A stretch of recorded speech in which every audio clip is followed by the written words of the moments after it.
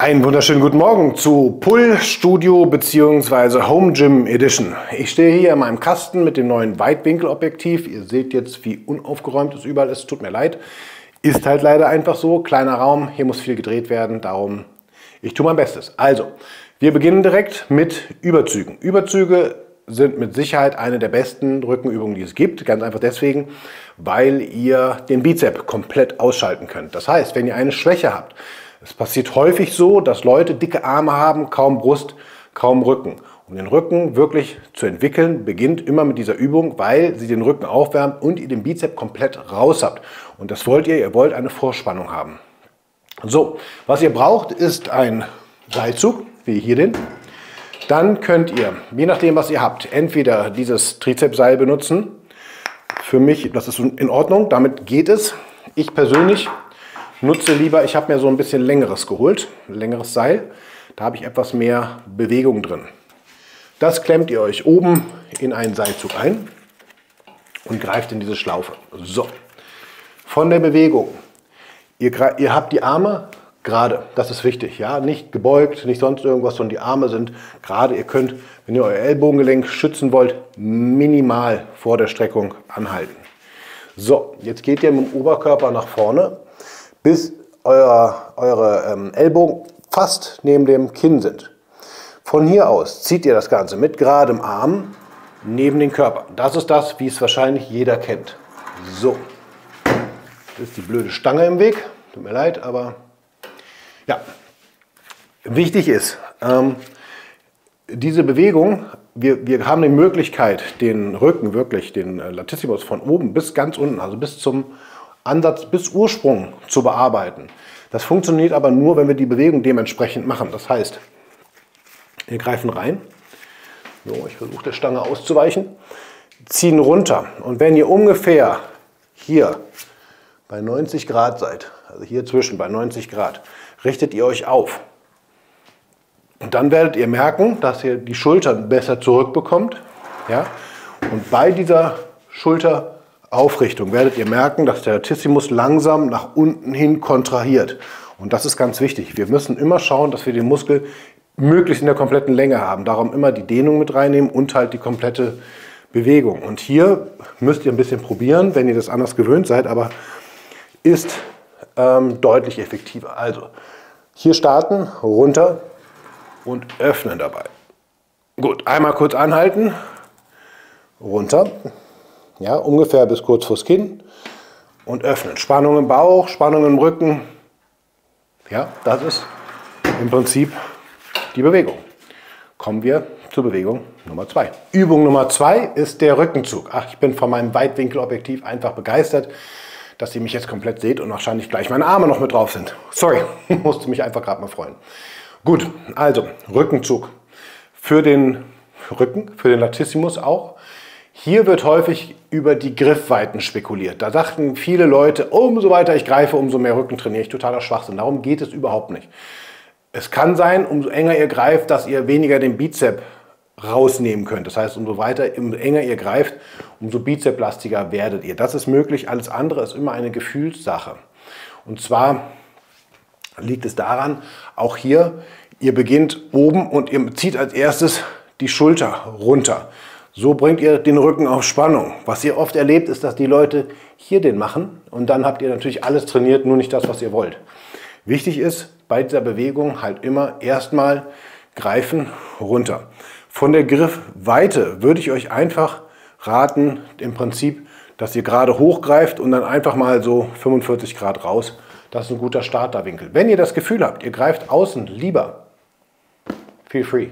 Wichtig ist, wenn ihr nach der Übung wirklich merkt, dass euer Rücken, euer Latissimus, dass da Blut drin ist, egal wie ihr greift und wenn ihr mit zwei Fingern eng greift, egal, wenn ihr das Gefühl dabei habt, macht das genau so. Gut, die Bewegung ist relativ einfach. Ich versuche es jetzt mal so rum, obwohl eigentlich das Gerät andersrum ist. Ihr greift, wie gesagt, wie ich eben schon erklärt habe. So, jetzt ist wichtig, ihr zieht vor den Körper. Ich möchte keinen sehen, der es in den Nacken zieht. Es bringt nicht mehr, es ist einfach nur schlechter für euren Nacken. So, Kopf leicht zurück und jetzt nach vorne ziehen und gut, das geht sogar und bis wirklich kurz auf die Brust. Ja, langsam nach oben. hier ruhig die Schultern aushängen, Schultern runter, auf die Brust. Hochkommen lassen, Schultern. Dehnung. Aus der Dehnung raus in die Spannung, runter. Andersrum, nach oben. Dehnung, Spannung, Schultern hoch. Schultern runter, runter auf die Brust. Ja? Ich zeige euch das Ganze einmal von hinten. So, Position ist klar. So, Schultern zurück, runter, ranziehen. Andersrum, hochkommen, Schulter. Schulter, runter. Das Ganze müsst ihr natürlich nicht so stockend machen. Wenn ihr es einmal drin habt, wird das natürlich hier eine flüssige Bewegung. Auch hier, wie bei allen Übungen, runter, unten einmal halten. Kontrolliert das Gewicht. Beim nach oben gehen, kontrollieren, kontrollieren. Rauslassen, kontrollieren. Runter mit den Schultern, runterziehen, kontrollieren. Ja. Wie gesagt, eine der Übungen, die am häufigsten gemacht wird, aber wo es leider auch relativ viele Fehler gibt. Ich hoffe, ihr, kommt, ihr kommt damit klar und wir gehen zur nächsten Übung. So, vorgebeugtes Seitheben. Das ganz klassische vorgebeugte Seitheben ist vorgebeugtes Seitheben. Das heißt, ihr habt zwei Hanteln, ihr geht mit dem Oberkörper nach vorne, schaut, dass der Oberkörper parallel zum Boden ist und geht hier auseinander. Funktioniert. Ich persönlich würde gerne, dass ihr es mal anders probiert, wie ich es persönlich deutlich effektiver finde. Probiert es aus. Ihr werdet merken, was ich meine. Und zwar nehmt ihr euch zwei Hanteln.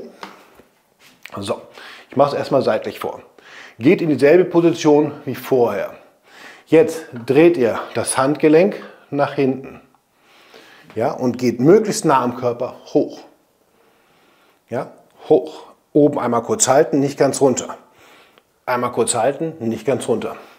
Jetzt achtet mal drauf, ich versuche es mal einzufangen. Meine Schultern sind nicht gut. Seit ich das hier mache, werden sie besser. Aber sind nicht gut. Achtet mal drauf, hier die hintere Schulter. Da kommt der Muskel, ihr seht, der wird richtig oben angespannt.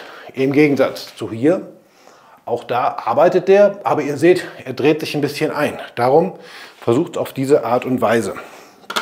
Also, ne, Spannung im Bauch, Spannung im Po, Spannung Oberschenkel, Oberkörper nach vorne, parallel zum Körper, zum Boden. Hände rechts und links und jetzt neben dem Körper hochgehen. Einmal kurz halten, langsam wieder runter. Hoch, einmal kurz halten, langsam wieder runter. Ihr könnt, wenn ihr wollt, euch eine Bank nehmen, die ein bisschen hochstellen, dass ihr mit der Brust vorne auflegt. Dann habt ihr noch etwas mehr Entspannung. Aber das ist auch vorgebeugtes Seitheben. So, jetzt kommt der schöne Deluca-Satz. Das heißt der Auspower-Satz. Fünf, wieder, fünf Sätze, 20 Wiederholungen. Versucht eine kurze Pause dazwischen nur zu machen. Und zwar enges Rudern. Enges Rudern habt ihr klassischerweise diesen Griff. Den hat jedes Home Gym und sowieso jedes Gym.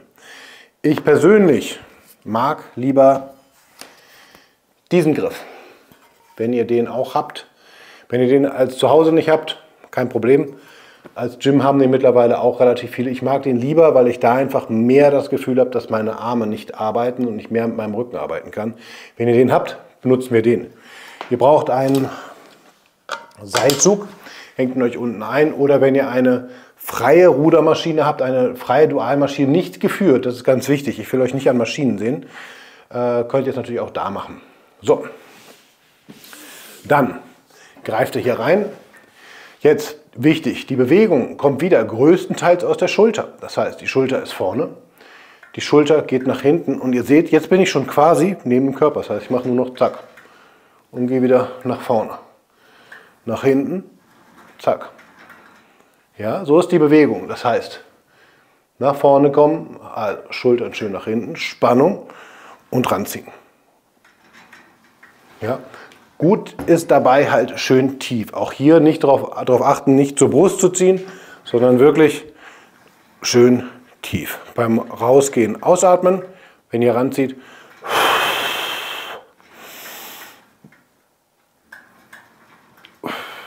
Ja, das ist im Prinzip schon alles. Okay, kommen wir zu den Shrugs. Shrugs sind für den Trapez. Der Trapez heißt Trapez, weil er trapezförmig ist. Ist ganz wichtig. Ihr werdet ganz häufig im Studio Leute sehen, die sich gerade hinstellen und den hier machen. Ja, ihr trainiert damit etwas hier oben, aber ihr trefft nicht den kompletten Muskel. Um den kompletten Muskel zu treffen, ja, schaut euch mal den Unterschied an. Wenn ich das mache, was hier passiert, ihr seht, das Stück bewegt sich. Wenn ich jetzt noch ein bisschen nach vorne gehe, nur ein bisschen, und ich gehe dann nach da, seht ihr, dass sich viel mehr bewegt. Ja, also man merkt richtig, dass der komplette Trapez sich bewegt. Und das ist das, was wir wollen. Ob ihr das mit einer Kurzhantel oder einer Langhantel, zwei Kurzhanteln oder einer Langhantel macht, das ist euch komplett überlassen, wie ihr es lieber möchtet. Ich mache es jetzt hier einfach mal mit zwei Kurzhanteln vor. So, das heißt, ich stelle mich hin, gehe ganz leicht nach vorne, nur minimal. So, und ziehe hinter die Ohren hoch. Ja, nach vorne, Dehnung und hoch. Wichtig ist, schaut dabei geradeaus, dass ihr keine Spannung auf dem Nacken habt. Das ist das, was ihr wollt. Ja, ihr werdet merken, deutlich mehr Belastung als dieses, ich weiß nicht, Bewegung. Gut, das waren Shucks. Nächste Übung, der Armbeuger, der Bizep. Dafür zwei Übungen. Wir beginnen mit einer geraden Übung mit den Bizep Curls. So, einarmig. Hier ist es so, irgendwie habe ich die falsch rum. So. Hier ist es so, auch das kennt jeder. Das ist dieses Hochrollen. So. Das ist generell nicht verkehrt, auf keinen Fall. Ich persönlich möchte aber euch hier auch mal ein bisschen was Neues zeigen. Und zwar möchte ich euch mehr Time under Tension, ähm, also mehr Belastung unter, mehr Zeit unter Belastung organisieren. Das heißt, wir beginnen nicht so in der Position, sondern wir beginnen im Prinzip in der Endposition. Jetzt fange ich mit rechts an, gehe runter, 1, zweite Seite, 1, 2, 2, 3, 3. Ich denke, System verstanden. Ja, von der Seite dasselbe. 1, 1, 2, 2 und so weiter. Ja, soweit dazu. So, weiter geht's mit Bizep-Übung Nummer 2 und zwar curlen wir von oben. Das heißt, ihr braucht eine SZ-Stange, ja, also eine so geformte Stange, die hängt ihr oben in einem Seilzug ein. Jetzt greift ihr eng. Das heißt, ihr seht, hier ist Knick Nummer 1, hier ist Knick Nummer 2. Wir greifen hier in dieses Stück gehen runter und die Arme sind ganz oben. Von hier aus curlt ihr jetzt im Prinzip hinter den Kopf, das heißt hier hin. Ja, ganz hoch und curlt hinter den Kopf. Das fühlt sich sehr verkrampft an, euer Bizeps wird ziemlich zittern dabei. Das soll so sein. ja? Das heißt, immer schön die Oberarme senkrecht nach oben und hinter den Kopf Köln. Ihr könnt, wenn euch das zu unangenehm ist, auch gerne gerade machen. Hier habt ihr aber natürlich deutlich weniger Radius und die Gefahr, die Nase platt zu hauen, ist natürlich da. Gut, das ist die zweite Bizep-Übung. Gut, das war Pull die äh, Studio Edition bzw. Home Gym Edition. Wenn ihr Fragen habt, schreibt sie gerne hier drunter. Wenn ihr mehr Fragen habt, kommt gerne in die Telegram-Gruppe, da könnt ihr Fragen stellen. Da gibt es auch nochmal einen Videoraum, wo ich nochmal spezielle Sachen wiederhole. Ich will hier auf ähm, TikTok und YouTube die Leute, die nicht so viel Bock auf Trainieren haben, damit nicht voll spammen. Darum mache ich hier wirklich nur die drei Trainingsvideos. Das heißt, morgen gibt es dann Beine. Und dann sind wir auch für sechs Wochen mit dem Trainingsprogramm durch. Dann wünsche ich euch einen höllischen Muskelkater und einen schönen Tag.